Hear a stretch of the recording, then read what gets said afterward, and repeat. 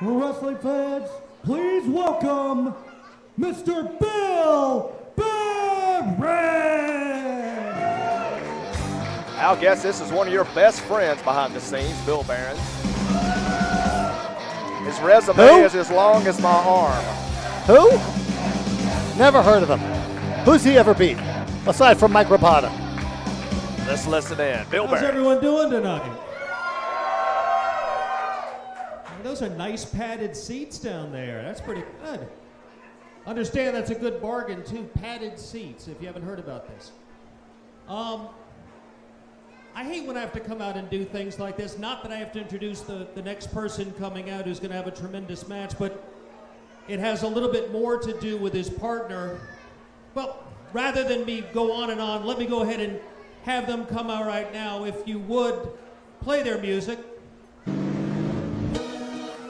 This remains to be seen what's going on here as Bill Behrens is, is going to make the introduction.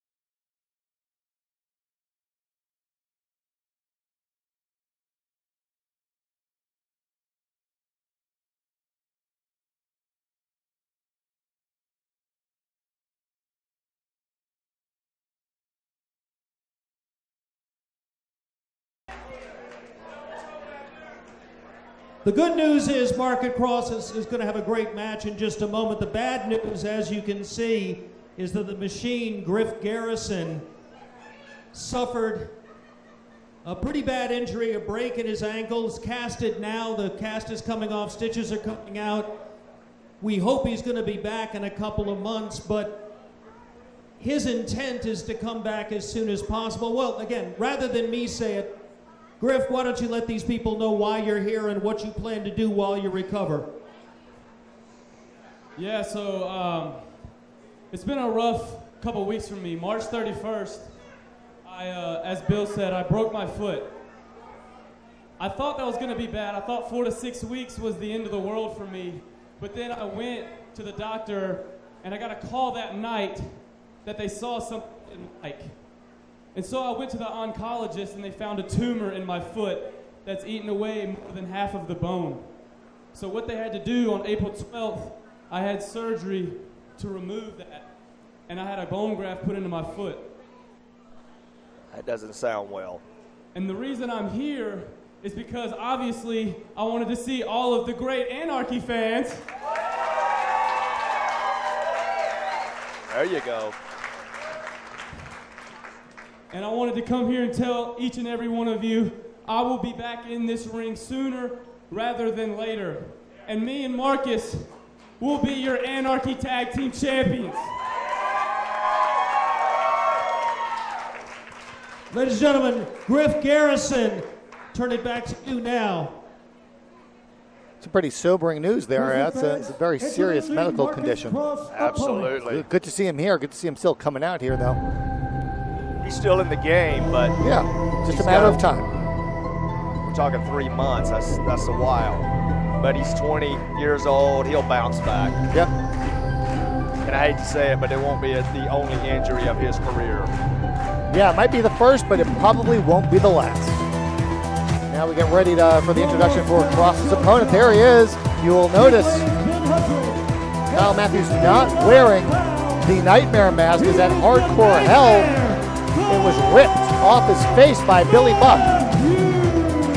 Yeah, in a most distasteful way, we'll say. And quite honestly, if you want to know the truth, I almost didn't recognize him when he was coming through the uh, ring entrance there without his mask. Yeah, we're so used to seeing him with that mask. And let's be clear, that mask not only is it, you know, a nod to his original trainer, Nightmare Ted Allen, but that was the actual mask given to him by Ted Allen. So it's not just that Billy Buck tore a mask, it's that Billy Buck tore the mask. Oh, it, absolutely. And it shows how low Billy Buck will go to win a title, to win a match. And he was victorious, but to rip the mask off, what an insult.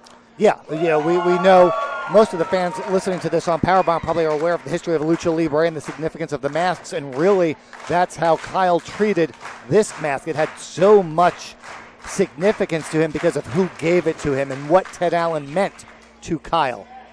But now we'll see what uh, Kross can do in singles competition. We've seen him and Garrison, and most recently teaming up, teaming up where they had a non-title victory over the champions, and now Kross finds himself in singles competition against former Heritage champion Kyle Matthews. Absolutely, and this should be a great matchup here, a great wrestling match as, as both athletes shook hands before this thing started, and I know love. Al Getz loves the when that takes place. I, uh, I mean, why, why shake someone's hand when you could just as easily punch them in the throat? You're using the same hand that's that easy. Fans, he'll be with us all show. The whole two hours, you have to look forward. And I just found out about it five minutes before I came out here. By the way, I'm, I've got no preparation, no notes, but I'm a professional. Dang it! Well, we've only been doing this 20 years, so.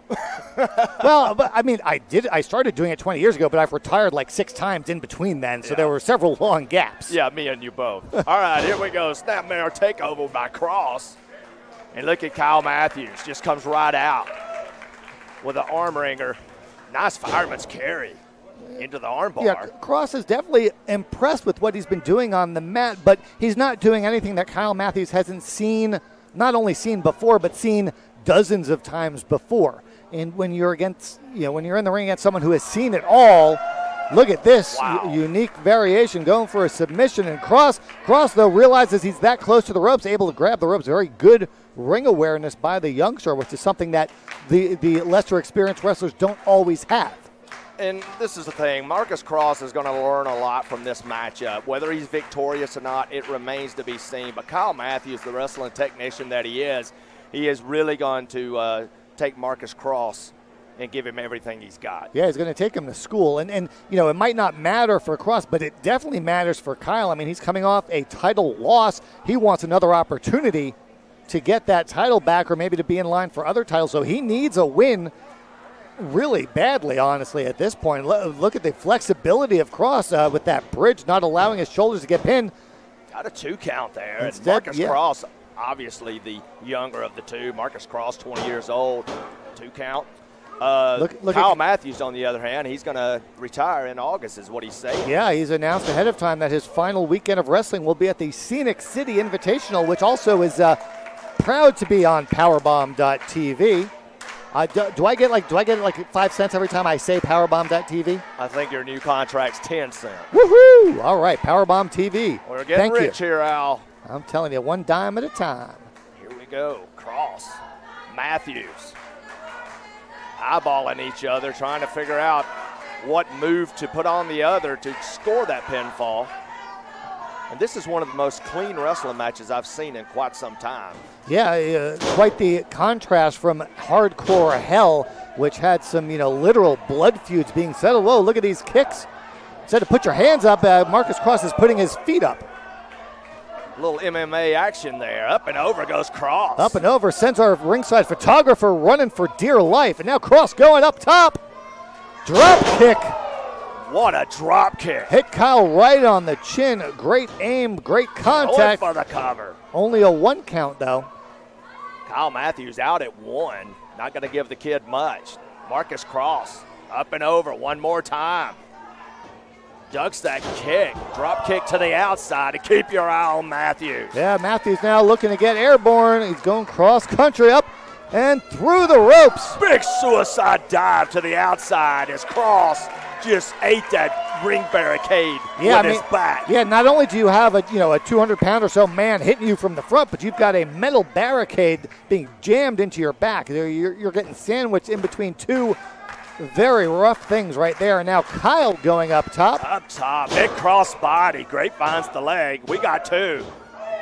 He about cut Kross in half with that suicide dive. If that if, if he actually cut him in half, would the match stop at that point? You think? Not a hardcore hell. No? Okay. It would have continued. All right. But then, do you have to pin both halves, or just the one with the shoulders?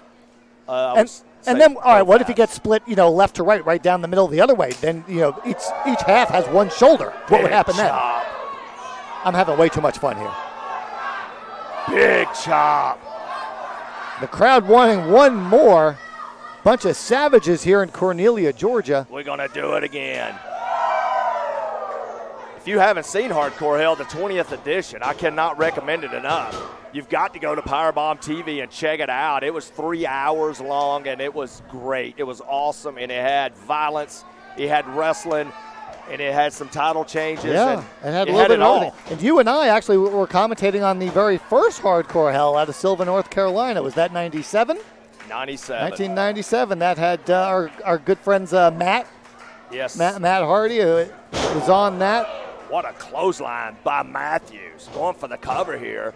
Yeah, the first hardcore hell was uh, Matt and Jeff Hardy, Venom, Venom. Yep. Pun- the Punisher, which was Bull Buchanan. Bull Buchanan. Yep. and Champagne. and of course me and you. And me and you, or, or you and I, as you know, people that actually speak good English would say. And let's don't forget Rick Michaels. Rick Michaels and I are the creators of hardcore hell. We got a two count. probably had Kid, Kid Kash was probably on that one too. Him and Rusty, Rick was. Savage, Absolutely. David Young. Wow, Kyle just spit out his gum, I think. what a memory you have. That's when you know it's serious. When Kyle spits out his gum, it's like that's the equivalent of Lawler putting the strap down. Got a leg scissors here on Kross in an awkward situation. Yeah, but Kross pulled himself back and actually had Kyle's shoulders pinned for a two count. Back into that turnbuckle. Like we talked about earlier, Kross is getting a wrestling lesson, let me tell you. Yeah, but he's he's actually holding up. Hard into that turnbuckle. He's holding up far better than I think a lot of fans thought at first. He- He's in the match. He's been in it the whole way. Now Kyle going for a cover, only a two count. Little bit of frustration, I think, uh, coming across the face of Kyle. You know, we couldn't tell early. You could never really tell his expression, and that perhaps is a disadvantage now wrestling without the mask. Is that you're wearing your emotions on, on your face literally. Whereas in the past, you hid your emotions, you hid your frustration, and now it's right there for your opponent and the world to see. Kross up and over. Got to come off springboard. Moonsault. Going for the cover. Could he get him here? Moonsault, moonsault body block didn't connect 100%, but got it enough to where he almost had Kyle down. Wow. Just as you think Kyle Matthews is in trouble. Just like that, it was almost over. Kross thought he had things going his way and charged in. Perhaps the youthful exuberance was a little too much at that point. Perhaps he should have been a little more calculating, as Kyle seemed to be lying in wait, waiting for him. Matthews back up to the vertical base. We got a cage match later tonight, Steve. Oh, absolutely. And Man. it's going to be violence to another It's level. bonkers. Up and over goes Kross. Ducks the clothesline. Caught him with that forearm. Make it a pair. Double chop. Oh, a little, little kung fu style, little Shaolin style there from Marcus Kross, and now Shooting star. Two count. Wow. running shooting star press. Only a two though. Again, it looks pretty, but it didn't qu- quite connect with 100% force. Al Getz, are you surprised that Marcus Kross is held in here this long with the veteran Kyle Matthews? I, I definitely am. I, you know, I nothing against him, but I, I didn't really think this was going to be this competitive and this long of a match. Although right there, Kyle able to throw Kross off, and now Law was rolling well. Oh, set him up for that kick. what a kick it, it was. And we got two. But again, Kross kicking out. This kid doesn't know the meaning of the word quit. Never say die attitude as Marcus Kross is taking a lesson here, but he will not quit. He will not go down to defeat easy. That is for sure. As Kyle Matthews back up to that vertical base, but he kind of looks a little winded, quite honestly. Yeah, he's a little winded. He's a little frustrated too. Uh, you know, and, and I, I think given the emotional uh, speech and confession from Kross's partner, I, you know, Kross is maybe taking that to heart and trying to win one, not just for him, but for his fallen partner as well. Marcus Kross, I think, just holding on to his man to catch his breath. Up and over. Yeah, didn't quite land on his feet, but just enough that he's able to get up first. Tilt-a-whirl rolls around into a DDT. Man, Marcus Kross is all over him like a bad Crawling dream. over to make the cover. Could it be? Could it be? Two and a half. Wow. Uh, it would be a huge victory for Kross. It would put him in line for a shot at the Heritage title. I, I thought he was going to roll him up. It said Kyle, though, changed his body, so he went chest first. But now an ankle lock. And he has got that ankle lock deep, and Kyle Matthews is in a world of trouble. Yeah, and he's right in the middle of the ring, too. He's not, he's desperately reaching for the ropes, but they are not there.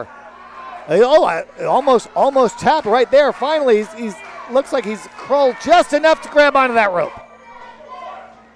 Daryl Hall, the referee, calling for the break. Marcus Kross, he cinched that in deep. He gave it everything he had to get him to tap, and he wouldn't.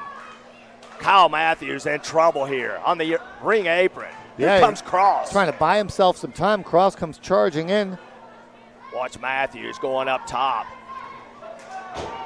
You know, he's a wrestling technician, but he's a daredevil too. He will use that top rope Yeah, he is. as- to now- his advantage. Both men up top. Kross on the second rope. This is going to be interesting. Kyle Kross pushes him off. way. Up, over. Could it be? We got two. No, sir. That's another two and a half plus count made by Daryl Hall and Kyle. Now, Kyle now is in trouble. I, I will say it. You know, he's. I will say this was a back and forth match, but now I'm going to say Marcus Kross has the advantage. But I don't know what he's waiting for. Yeah, he needs, needs to get to- up and get something going now. They need to get up and kick Kyle Matthews right in the in the nose. Kyle Matthews That's what I would looks winded. And Marcus Kross was sitting there buying some time, but I think he wasted his shot, his opportunity. We got the bridge. Yeah, roll up we with got a bridge. Just like that, Kyle Matthews pulling victory from the jaws of defeat. Kyle. And that's that's what a ring veteran does. Just when you think Absolutely. things are going one way, just like that, Kyle Matthews gets the victory. But a great showing by both men, but a great showing in particular by the youngster, Marcus Kross. Marcus Kross. I guess would you say Marcus Kross made a rookie uh, move there when he was buying time for I, himself? you know, I think his advantage was his uh, his stamina, his youth, his speed, and at the one time he needed it most, he was unable to use it. The veteran Kyle Matthews victorious here as Marcus Kross goes down to defeat. Marcus Kross has learned a lot here tonight as these fans recognize what a wrestling match it really was. And we had one hell of a wrestling match here as Kyle Matthews puts the hand out and Marcus Kross is glad to shake the veteran's hand as he has learned some lessons here tonight about professional wrestling. Anarchy Wrestling rolls on right after this timeout.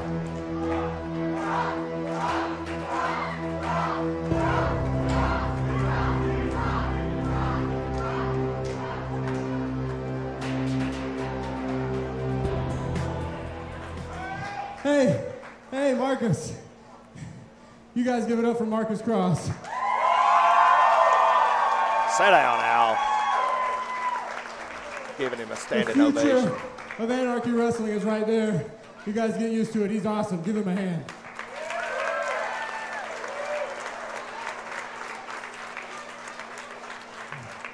What a compliment. Now, on to Billy Buck. Billy Buck, at Hardcore Hell, you took two things from me. Number one, you took the mask that Ted Allen gave me, and that I can't do anything about. Number two, you took the Heritage title. That I can do something about. My last match at Anarchy Wrestling is at Hostile Environment, and I'm cashing in my rematch for Hostile Environment. Wow. Billy, a few months ago, I promised these people I'd retire Landmark Heritage Champion, and I promise you I will do that. Thank you guys. Have a good night. Kyle Matthews making a big promise to these fans. Yeah. He will deliver.